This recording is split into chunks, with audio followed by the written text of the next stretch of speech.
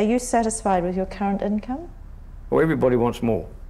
Let's face it, everybody wants more, but I'm quite happy as I'm at the moment, yes. Have you set yourself any hard and fast financial goals? Have I set any of those goals? The answer to that's no, I haven't, have I? No. Sorry. Do you have a budget? Um, yeah, no, yes, no.